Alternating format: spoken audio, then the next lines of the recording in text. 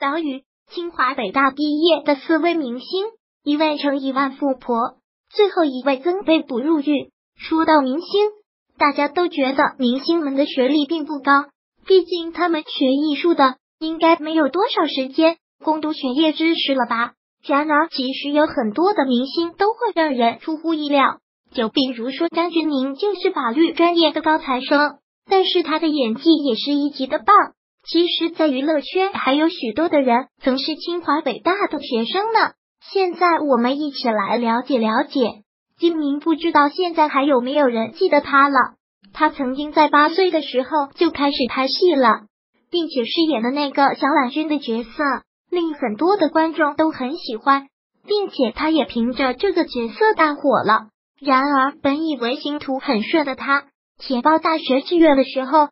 竟然选择了北京大学，之后他就朝着自己的这个目标努力，最后成功考入了。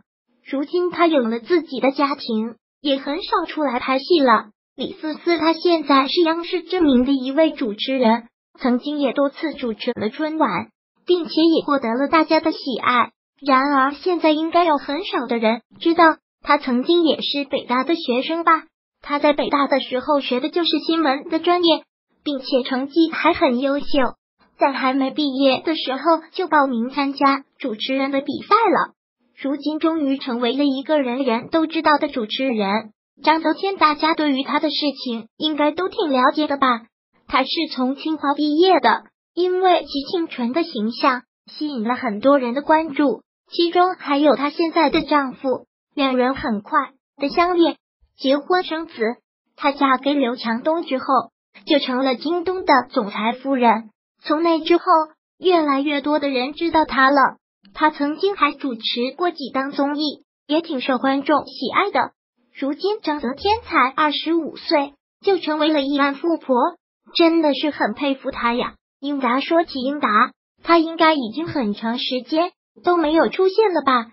然而现在，只要是一提起他，大家总会想到他曾经和宋丹丹的那段婚姻。两人在离婚的时候还闹得挺大的。其实你不知道的是，英达也是北大的，并且学的还是跟表演毫不相关的心理学，后来才进修学的表演。如今他也成为了一名导演，但是曾经却被捕入狱，今年和解后才被释放。